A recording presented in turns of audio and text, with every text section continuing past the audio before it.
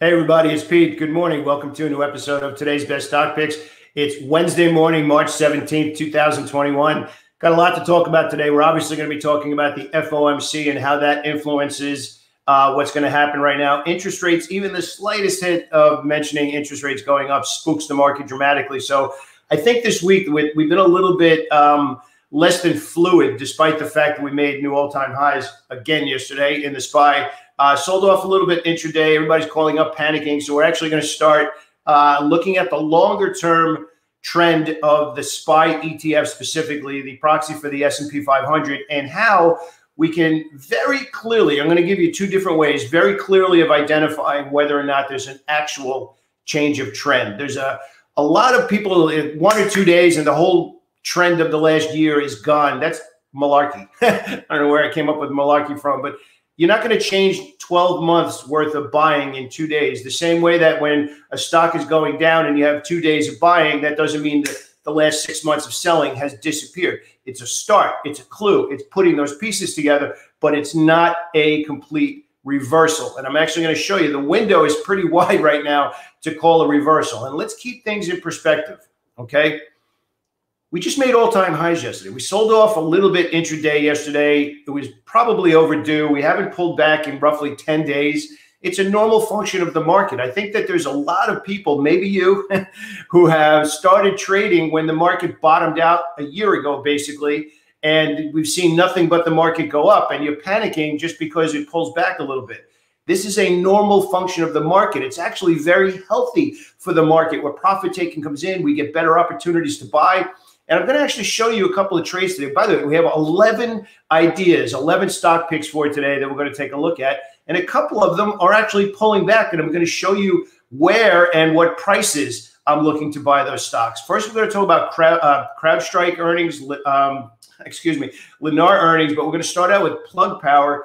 Uh, anytime you hear a company uh, restating accounting, that's a big issue. And the stock is actually down 20 percent right now. So it's actually a big deal. We're going to look to see if it's in a buy zone, look to see if it's even worth considering here. Very similar to what I talked about with the um, cannabis stocks and the electric vehicle stocks. The daily charts are not really what's going to tell me. What's going to tell me is the weekly charts, because again, smart money commitments, deep pockets making uh, allocations of capital into your ideas. One day of buying that stock is not enough. We want to see a week. We want to see 10 days worth of buying, where now it starts to see higher highs, higher lows, closing outside of the previous week. Then we have something special. Then we have something we could dig into a little bit because real money is allocated over 10 days. And now we're starting to see a reversal. If we see that happen, that's when we get involved. We don't bottom fish. You bottom fish, you're putting yourself in harm's way. You're getting in, in front of all of that smart money and you don't want to do that. You want them to say, okay, we're done. now it's time to start jumping in and looking in the other direction. One other thing I want to point out um, everything obviously that we do is for public is, is for uh, public consumption. It's not investment advice or anything like that. It's for educational purposes. However, what I do want to say to you, and we've never met, maybe I have met some of you. Um, if the market is challenging for you, if you find that you don't have a good read on it, if you're not sure what's going on, I'm going to give you some advice. Stay in cash. That's I'm not telling you what to do. I'm telling you what not to do, which is a little bit different. If you are unclear of what the next move is in your favorite stock, if you're unclear of of um, what you should be doing next. What is the next opportunity for yourself? First, I hope you joined the boot camp. I'd love to see you on the other side where I can walk you through this every day in a lot more detail. But be smart. Anytime you're not sure, stay in cash until you are sure because you have to justify the risk in exchange for profit potential.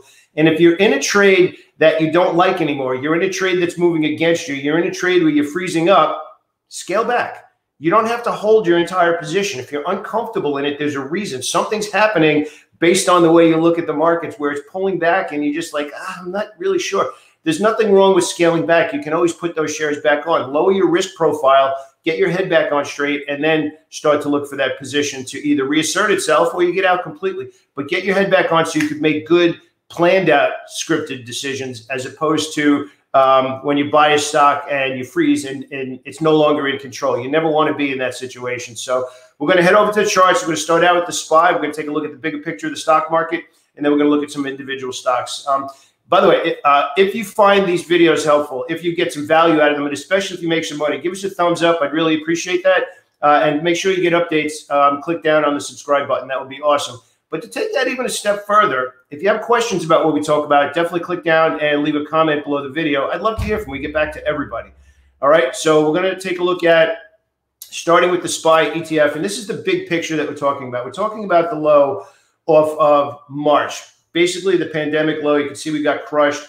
And we've actually been working our way higher the entire time. And this is what I mean that most traders who started basically a year ago, almost a year ago to the day, actually, um, have not really experienced much of a pullback. We're seeing now where even intraday, newer traders are panicking a little bit just because we have a little bit of selling. And you're going to see in a second the long term picture this is how you properly draw trend lines. You don't go through any price on the way up, and then you see where the line broke at the highest spot. So, this is technically the window the SPY is in right now, which is a gigantic window. We can't have a confirmed move to the downside, which a lot of people called about two weeks ago, which is not the case. It was only two days worth of selling. Um, so, really, right now, the, the, the levels you need to have are yesterday's high, which is let's just say 397.50 for argument's sake, uh, and 371.88. That's a giant window, but that is the actual window. This floating to the upside that we just recently had. Now we need to go into um, the volume because if you actually take a look over here, remember the volume represents the commitments by deep pockets. That's what we're looking to follow what the deep pockets are doing, but we also want to confirm they're doing what we need to see in order to still have conviction to be long. This rally here, if we go here, was on very light volume, which preceded this big move to the downside, which had heavier volume. So now you have to put the pieces together. This is what real trading is. So you can see here, this rally into new highs, volume kept drying up. We're rallying again, and volume is going down. It's still significant, but it's going down compared to these selling days. So these are the clues you have to put together. So now, what does that mean? What do we not want to see right now? What we don't want to see is selling down here on heavier volume. If we start to pull back a little bit, and generally I look to start looking for new opportunities around a 50% retracement level.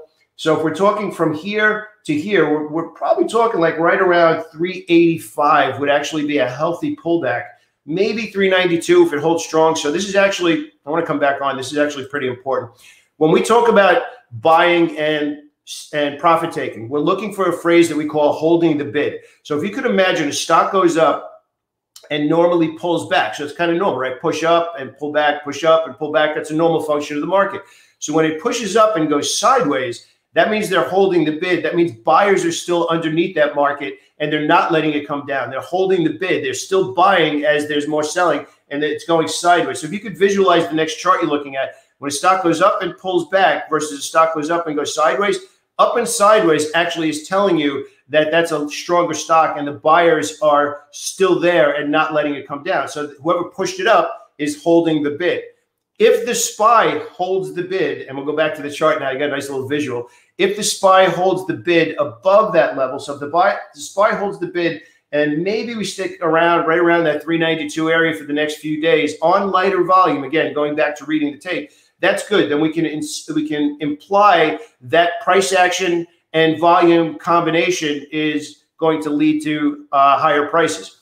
If we start to pull back, that's still okay, but not as high of a conviction level. But if we pull back on heavier volume, that changes. So there's three different scenarios. Remember, we just talked about you need to script your success when you're looking to buy stocks. We just gave you all three scenarios. So pulling back and breaking this line go, trading below that and then holding that as resistance, that would ultimately end up being a confirmed change of trend. So until that happens, this longer term trend is still valid.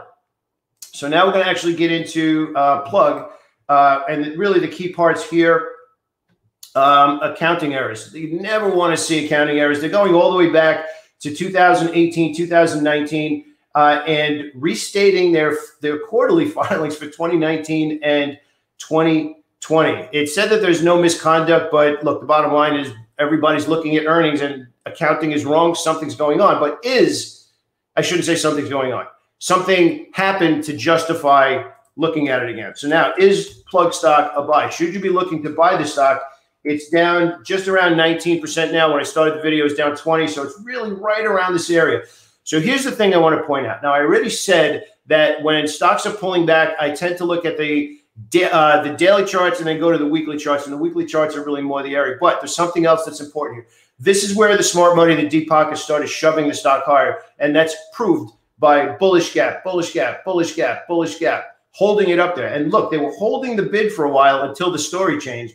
And now we're seeing that manifest. So is this the news coming out now where it's being sold already prior to this? And do we bottom out here? So essentially, what I'm saying is we have last week was a consolidation, but what was preceding that? The news came out after the stock sold off hard from 68 now down to 34 and change. Think about an earnings report as well, where you talk about a positive earnings report. What did the stock do prior to the earnings? If it's going higher and higher and higher and higher, and then they announced the earnings, it discounted the earnings. So the earnings came out, that news was already priced in, and then the stock sold off. And everybody's like, I don't understand. Great earnings. Why did the stock sell off? Because it was priced in already. It was anticipated prior to it, and the stock showed that. So is Plug right now already discounting this bad news on the last three or four weeks after the stock was strong as a bull and one of the uh, better stocks to be looking at? I'm going to say yes. So I'm actually as it looking for, not buying, looking for signs, and we'll talk about these over the next week or so, looking for signs for the stock to be bottoming out, looking for that price action volume scenario on the weekly chart and then we're going to start to look for that to play itself out. So, what does that mean? I'm going to give you a quick visualization. These are weekly charts. It's Monday through Friday. So, while the stock pulled back over here, this is what we want to see. We want to see well bid, higher highs, higher lows, closing on the highs on the weekly chart. So, we need this candlestick, for example. If this candlestick trades back up here above last week and closes strong, closes green and near the high, that's giving us clues that this bad news that just came out was already priced in. If we see an expansion in volume, smart money stepping back in and saying this is a, a steal at 34 to $40 or wherever it ends up unfolding. So that's the story of plug right now, how we're going to be looking at it. A couple of other ideas that we have today. Again, don't forget FOMC today. On the opposite side of earnings, CrowdStrike, really good earnings. They're up actually uh, $10.79 early here. Um, over $207. So it's actually right back up to this breakout level. So today I'm looking at CrowdStrike over 208. Not perfect conditions, but the catalyst for earnings is changing the story. Lennar also came out, actually pretty good earnings. It's up one and a half percent, $1.30. I'm looking at this over 92. One other one that I want to make sure is on your radar is Pulte Homes. You can see that I have my alert here. It said I actually had a buy stop yesterday set for 50 50 after the market opened. It did, it did not fire off the alert. So I still have the alert in there. Not doing anything yet, but you can see why there. Uh, Intel actually triggered. Um, semiconductor stocks were super strong yesterday. Intel actually triggered. We have a swing trade long. Uh, actually, that's right at my price right now, uh, where we got long. So I'm still comfortable in that idea. I like that setup quite a bit. Um, QFIN on the opposite side of the market, where we actually had a good push up, a pause, looking for a breakout here as well. Uh, now we're going to get into a little bit different scenarios, which are some pullbacks. So again, very healthy part of the market. Caesars Entertainment, all of these casino stocks had some really good news over the last week or so. Uh, you could actually see here that we pulled back. And now on this pullback, I am actually looking, ironically, I'm looking for a lower opening. So I'm looking for it to be right where it is now and push lower and find buyers at yesterday's low around 94. If we open flat and push higher, then I'm still going to enter the long and then use yesterday's low as the stop loss. However, for me, a better scenario is one more flush down, buyers step back in, and then we look to retest 106 to 110. Uh, RAD, if you haven't been watching this stock, I'm typing it on the wrong screen. RAD actually had a really good six or seven day run. Yesterday saw an expansion in volume. Stock petered out, got up to that 30 uh, $29 level. So here's the next trade that I'm looking for. You can see the level, the line of the sand that I have here. I'm looking for the stock to float higher, hold the bid, as I just explained to you, stay here, and then make another run over 29. So we got to got to get it back up to that level a little bit. Uh, Starbucks, Starbucks actually bullish gap into all-time highs, looking for some follow through here as well. Uh, Can on our radar again, strong stock pulling back, looking for it to test 28 and then looking for a move higher. Again, yesterday's high, yesterday's low, big levels for active traders. Uh, and Boeing. Boeing is probably one of the better ideas that I'm looking forward to today between the rest of the week. I don't know if it's going to uh, give me the signal today, but I'm looking for Boeing around 250. So again, what's interesting here is I'm actually looking for a lower opening in these strong stocks. So there's strong stocks pulling back. I'm looking for them to push down. They've already started to pull back, so they didn't hold the bid. I'm looking for them to pull back now. Buyers to step back in. The, and what buyers? That's the big question. The buyers that pushed it up for the last two weeks in the first place. We're looking for them to come back, step in, get short term signals, which again, I just gave you the idea is where I'm looking at that level, which right now is 250 in Boeing. If we get buying signals there, you don't just buy because it hits 250. You need price action to stop and say, okay, we stopped. and now we're going to start to turn around. So you have a spot to manage risk. Remember, professionals manage risk first and then look for what they could make. That's the spot that I'm looking for in Boeing. So a lot going on today. Don't forget FOMC today. That's a big deal. Options expiration on Friday, which makes Friday afternoon a little bit tougher to trade. Uh, if you find these videos helpful, definitely click down and subscribe. Um, I'd really appreciate that give us a thumbs up too, because it tells me that you like these kind of videos and you're getting value out of them. That would mean a lot to me. And don't forget, leave a comment below the video. If you have something you'd like to discuss, uh, definitely leave a comment down. We always get in touch with everybody. Uh, and if you want to come to the other side, you want to join me in the boot camp, click down and learn about that in the description too. Have a great day, everybody.